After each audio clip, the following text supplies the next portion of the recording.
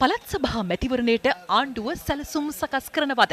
මේ පිළිබඳව අද මාධ්‍යවේදීන් ආණ්ඩුවේ නියෝජිතයින්ගෙන් ප්‍රශ්න කළා. අන්තිම දැන් පළාත් සභා මැතිවරණයක් ගෙන්න යනවා එකපාරට මේක ඉන්දියාව බලපෑමත් එක්ක වෙන දෙයක්. මන් දන්න තරමින් නම් ඉන්දියාව විශේෂ බලපෑමක් කරලා නැහැ පළාත් සභා ඡන්දය වහම තියන්න කියලා. සාමාන්‍යයෙන් කොයි කාලෙත් ඉන්දියාව කැමති පළාත් සභා ඡන්දය තියෙනවා නමුත් ඒගොල්ලෝගේ දරුවෝ හින්දා. නමුත් විශේෂ බලපෑමක් කරලා තියෙනවා කියලා මම දන්නේ නැහැ. නමුත් මේ වගේ තත්වයක් තුළ එවැනි තීරණයක් ගැනීම කොච්චර ප්‍රඥාවන්තද කියලා කල්පනා කරනවා නම් හොඳයි. ඔබතුමාලා ඒ කියන්නේ විරෝධයක් දක්වනවද පළාත් සභා මැතිවරණ ගෙනවා කොච්චර ප්‍රඥාවන්තද කියලා කල්පනා කරලා බලනවා නම් හොඳයි. රටේ මෙවැනි අර්බුදයක් තියෙනකොට මේ පළාත් සභා මැතිවරණයකට මුදල් වෙන් කිරීම සාධාරණ කියලා හිතනවද? ඒ වසංගත තත්ත්වය තාම 100%කින් අපිට බැහැර වෙලා නැහැ. අපි දන්නේ නැහැ අනාගතයේ මේක නැවත කොයි විදියට ස්වරූපයකින් ප්‍රබලව මතුවේද නැද්ද කියලා. ඉතින් ඒව ගැන තක්සේරුවක් කළ යුතුයි. ඒ වගේම රටේ ආර්ථිකයේ තියෙන තත්ත්වයක් එක්ක මහජනතාවට සහන සලසන්න ඕන වෙලාවක ඒ වෙනුවෙන් ප්‍රමුඛත්වය දීලා කටයුතු කිරීම වැදගත් වෙන වෙන ඒවට වඩා. තියෙන රටේ ප්‍රශ්නත් එක්ක ඔබතුමාට හිතෙන්නේ නැද්ද ඡන්දයක් තියෙන එක අපරාධයක් කියලා මෙච්චර විශාල මුදලක් වැය කරමින් ජනතාව ගමේ ජනතාව බොහොම අමාරුවෙන් ඉන්නේ. ඒගොල්ලෝ ඔබතුමාලට බයින තත්ත්වයක් තියෙන්නේ. ඔබතුමාට මොකද හිතෙන්නේ මේ? නෑ මං හිතන්නේ